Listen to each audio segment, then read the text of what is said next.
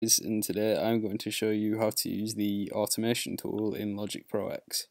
So as you can see on this track I have used automation on the beat which shows that from the beginning there it should be quiet and then it should get louder towards the end of that specific section.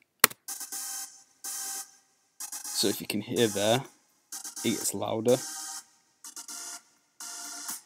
so you can finally hear it at the end. I'll just solo it to start off with so that you can hear it better.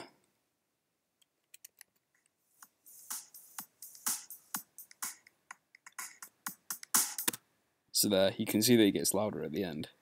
To do this, you will need to, first of all, it'll look like this, with no automation on it. And to get this to come up, you'll need to click on the Show Automation tool. And then that will bring up this, which will show the line and to be able to automate like I did up there you'll need to make little dots.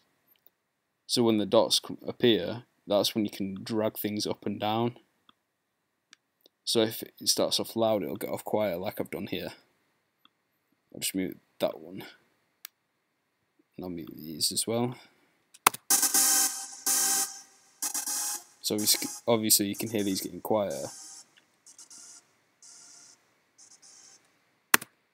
Okay, and another thing that I'm going to show you is how to automate pan.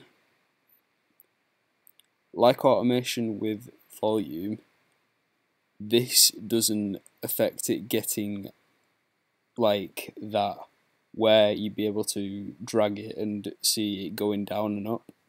Instead, because it's pan, it only goes left or right. So you get a green line here, and you can see it it'll instantly go to each of her. So if you're hearing through headphones now, you'll be able to tell that it's going to different ears. Like now you can only hear it on the right, whereas now you can only hear it on the left. Right, so that's how you automate, or how you automate pan. Alright, thanks for watching.